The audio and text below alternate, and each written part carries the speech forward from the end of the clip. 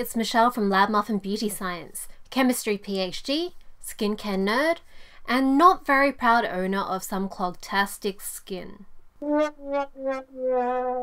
Today we're talking about comedogenicy, or how ingredients make your skin break out. If you like this sort of video, give this video a thumbs up, subscribe to my channel, and make sure you click the notification button so you don't miss out on any of my videos. I'm going to be saying comedogenicity a lot, and it's not an easy word to say, so please forgive me as I butcher it. You've probably seen charts with comedogenic ingredients like this one before. They rate different ingredients on their ability to cause pimples. What you're meant to do is check the ingredients list of your product against this list. If it has highly comedogenic ingredients, it will cause pimples. If it doesn't, then it won't. It's simple, systematic, and foolproof. But is this system actually backed up by science?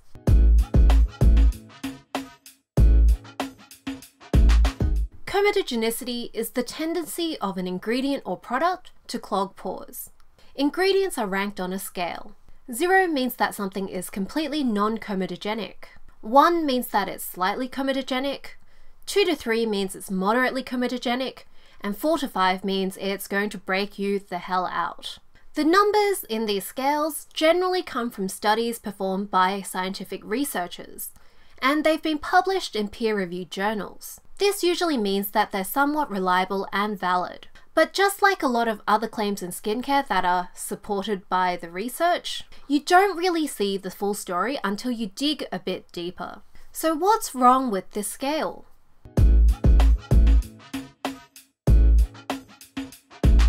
The problem is that the studies that produce these ratings don't actually reflect what happens when you use these ingredients in skincare products, for a lot of reasons.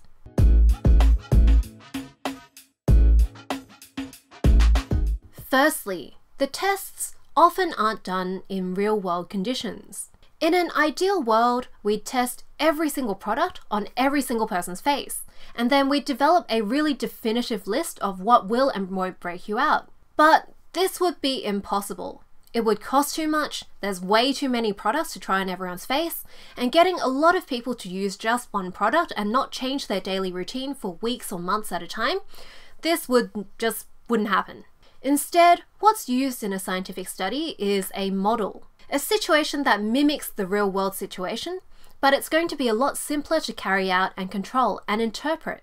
There's lots of examples of scientific models, things like crash test dummies, samples of hair that get dyed, pouring liquid onto sanitary pads, patch testing, things on your arm, testing bikes on a racetrack.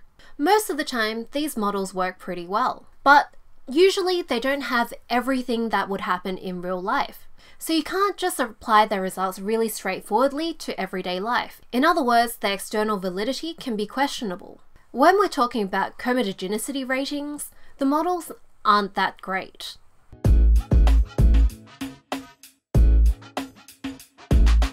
The most common test for comedogenicity is the rabbit ear model. This was pioneered in cosmetics testing by two really famous dermatologists, Albert Kligman and James Fulton. This happened in the 1970s. What the rabbit ear model was, was you apply the substance to the inner ear of a rabbit, and then you wait a few weeks and see if you get any clogged pores or comedones.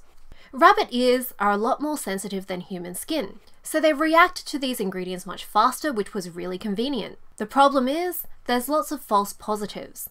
So ingredients that aren't comedogenic in humans would be in a rabbit ear. In the original test, there was another problem. Rabbit ears have naturally enlarged pores, and some of the earlier results counted these bigger pores as acne, which meant there were even more false positives.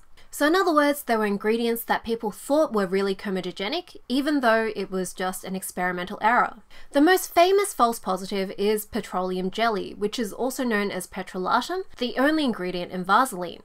This false positive was corrected in the late 1980s, but whether or not it was comedogenic was debated until the mid 1990s. This wasn't the first time that the rabbit ear model had problems. There were usually lots of conflicting results, and that's why lots of these comedogenic ingredient lists disagree with each other. More recently, in 2007, two dermatologists wrote the rabbit ear model is unable to accurately depict the acnegenic potential of chemical compounds and is therefore only valuable for distinguishing absolute negatives. In other words, the rabbit ear model can only tell us about what things are really, really unlikely to cause clogged pores.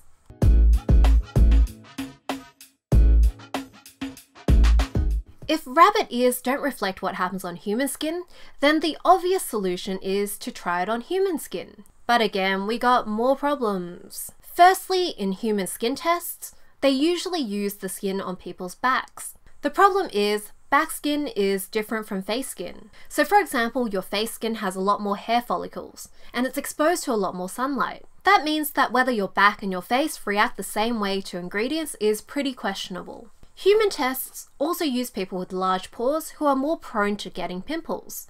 Will someone with small pores react the same way to these ingredients? Most of the time, the way that these tests are conducted is that the ingredient that's being tested is swabbed onto your skin and then they cover it with a bandage.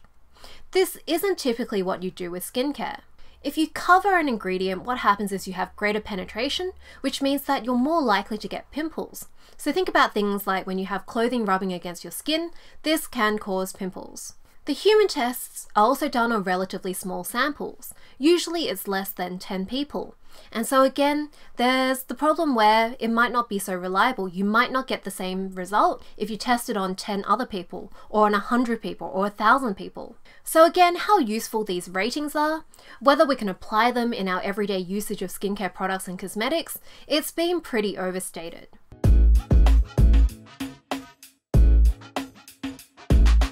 Another huge issue with these comedogenic ingredients is that even if an ingredient is comedogenic on its own, it might not be once you put it into a product. And even if a product doesn't have any comedogenic ingredients, it can still cause pimples when you put it on your skin. There's a saying in biology which is the dose makes the poison. So for example, if you breathe in humid air, it doesn't kill you and it's actually quite nice. But if you breathe in too much water, like in the ocean, then you drown. Drinking one glass of wine is probably fine, but 10 glasses will give you a massive hangover, 50 glasses will probably kill you. So how much you have of an ingredient makes a huge difference to your skin. And clog pores work this way as well. Here's a quote from a 1996 paper from Kligman. Substances that are strongly comedogenic when tested neat, which means by itself, or in high concentrations become non-comedogenic after sufficient dilution. For example, in a study published in 2006, 100% pure acetylated lanolin alcohol gave a really high comedogenic rating of 4 to 5. At 50%, it was still 4 to 5. But when it was diluted to 25%, it became a rating of 1. Most skincare products contain lots and lots of different ingredients, and most of them are well below 25%. And if they're diluted by that much, they might not have the same effect. So a typical face lotion moisturizer has 80% water, which means that all of the other ingredients will max out at 20%, and that's if you only have one other ingredient in your product.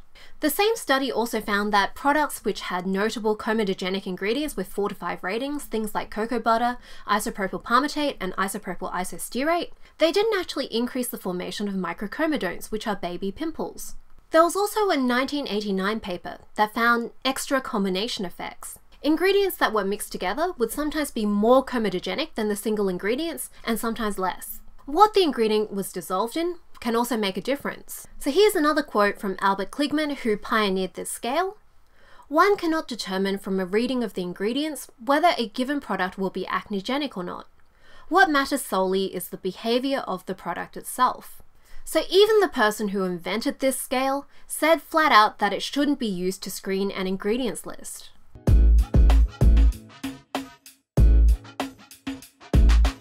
And on top of all of this, there's even more considerations that you should be aware of. Your unique skin chemistry partially tells you whether or not something will be comedogenic or not. Even in the scientific experiments, the same ingredient and the same procedure gave different results on different people. There are lots of reasons this could be the case. You might have different bacteria on your skin, a different skin microbiome.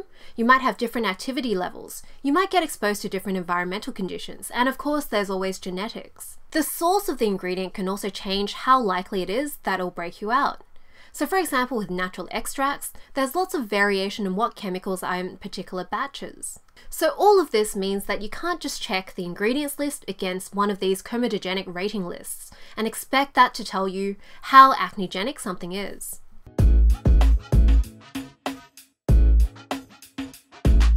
So what does all of this mean? It means that these comedogenicy scales are only useful in very limited circumstances. So the first case is narrowing down what might be causing your breakouts. If you're breaking out and you're not sure which product is causing it, then checking for really comedogenic ingredients, like 4 to 5 ratings, high up on an ingredients list might help you look in the right direction. If you have a product and it has no comedogenic ingredients, then it's less likely to be the culprit, but it could still be. So it's important to remember that this is only a starting point and it's not conclusive at all. If your skin is really sensitive to clogging, then it might be worth avoiding products with large amounts of comedogenic ingredients. If you're really acne prone and there's a product which has a bunch of really comedogenic ingredients high up in the list, then it's probably a good idea to avoid the product or patch test it really carefully before you keep using it. If you're already using a product and it's been fine, don't stop using it just because you see that its ingredients match what's high up on this scale. What happens in the real world on your individual skin is much more important than what happens theoretically. Another case where these ratings might actually be useful is if you're trying to avoid undiluted comedogenic ingredients and you don't want to patch test. There are a few ingredients that are commonly used without dilution, so things like natural oils and butters. These ratings can help you navigate these a little bit. Coconut oil, for example, is rated a 4 on this scale, which means it's pretty comedogenic, but lots and lots of people still use it with no problems. If your skin is pretty prone to breakouts, then you might want to patch test it and proceed with caution, or you might want to try a less comedogenic ingredient first. Note that you can't really use the fatty acid profile of an oil to work out how comedogenic the final oil is. The fatty acids are reacted before they're put into the oils, so they don't work the same way. So what you shouldn't do with these ratings lists? You shouldn't go on a witch hunt and chuck out any products that have comedogenic ingredients. You shouldn't avoid a product that otherwise sounds good just because it contains a comedogenic ingredient. You shouldn't bother looking up an ingredient beyond the first five or so, and even five is sort of pushing it, or be really dilute by the time it's after the first five ingredients. You also shouldn't use these ratings as a shortcut to avoid patch testing new products. Again, even if it doesn't have comedogenic ingredients, it can still break you out. So that's it for this video, I hope you liked it. If you did, please give it a thumbs up and subscribe to my channel for more videos like this. You can also follow me on Instagram and check out my blog if you like beauty science. Leave me a comment letting me know what else you want me to talk about, and see you next time for more beauty science.